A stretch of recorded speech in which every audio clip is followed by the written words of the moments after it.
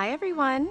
Happy Sunday. Happy Vlogust day six. Um, just a recap from yesterday. I didn't end up having time to cut my hair, but I will try to do that tonight. The banana situation got locked down. I was able to make um, banana trail mix kind of healthy muffins. So I'll see if I can do a recipe for that. It was a lot of just randomness, but they turned out really well. And uh, my husband took some to work that when he left um, for his last overnight before he's off for two weeks. So we're really excited because our anniversary is coming up on Saturday, 11 years. Um, so I thought that for today, what I would do, um, I just, I'll let you know a little bit. I've kind of talked about it a little bit, but um, church and church life and the gospel and everything is something that's a really big part of my life and my family's life. And so I was thinking about it when I was thinking about what I wanted to share today uh, in my video.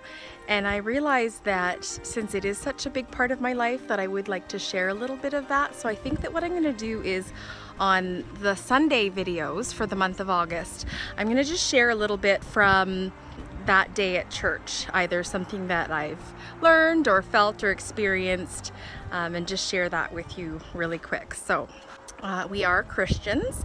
We go to the Church of Jesus Christ of Latter-day Saints. And um, as I was saying yesterday, I was preparing my adult Sunday school class. And that happens uh, each week we go to church for three hours.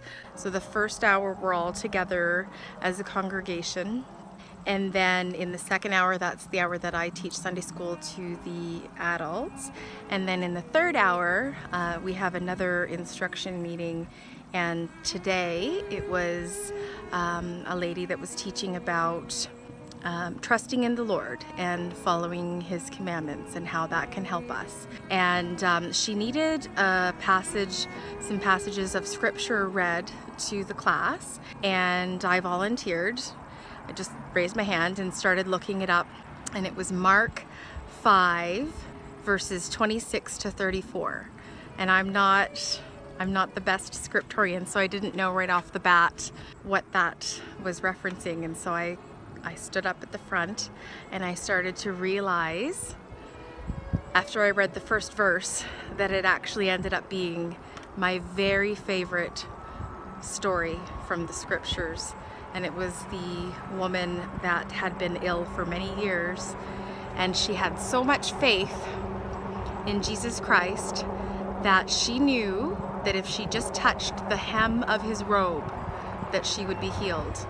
And so that's what she did. She got uh, she brought herself to the marketplace and just reached out to touch the hem of his robe and she was healed because of the faith that she had. And he recognized that um, some of his power had left him to heal her. And it wasn't of his own accord, it was because of her faith that she was able to access that power. And uh, I did I did struggle emotionally to, to get through reading those scripture um, verses because that story has always really touched my heart.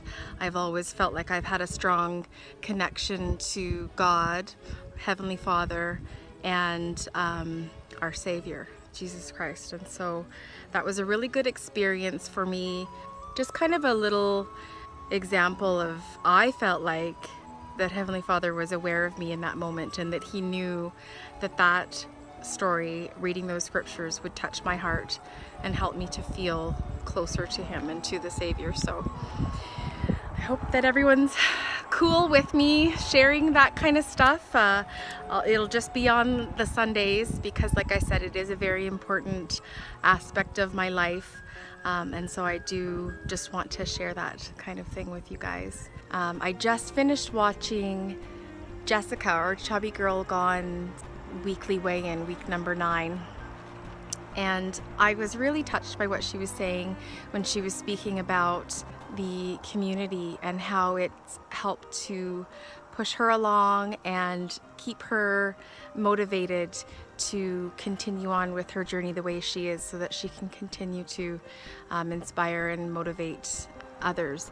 I've really enjoyed this feeling of camaraderie and community is really really wonderful so And I just want to do a quick shout out to Darrell Bailey Fitness. I got a request to subscribe to his channel yesterday, and I think that because of the way it was worded, it got flagged as spam. And so I just, I thought that it was, and so I responded with, oh, like, you know, a sub for a sub kind of thing. And he's like, no, no, no, I legit found you through the Journey to Health and I sincerely want you to check out my page. And so I felt horrible that I'd made the assumption that it was spam because, you know, those ones get flagged and they're usually dummy accounts or whatever. So I did go over and check out his, his page, uh, his channel, and he is for sure legit. Uh, so, and he is in the process of building up his channel. So if you do get a moment, for sure, if you get the chance, take a moment to go over and check out his channel uh, and subscribe. I'm sure he would really appreciate it. I'm really grateful that um, you are taking the time, if you found the time to, to watch these videos uh, throughout Vlogust. I know it's a lot and I know there's a lot of participants so I do really appreciate you being here and um, if you're new in subscribing I definitely appreciate you taking the time to do that. Alright and just a real quick add-on. Tomorrow's video is going to be like a weigh-in measurements reviewing goals video so uh, look forward to that. And then Tuesday's video will be the Journey to Health collab question number two. Okay, so you guys take care. Have a good, oh, you okay there? Okay, have a good rest of your Sunday and I will check in with you with my weigh-in results and measurements tomorrow. Okay, bye.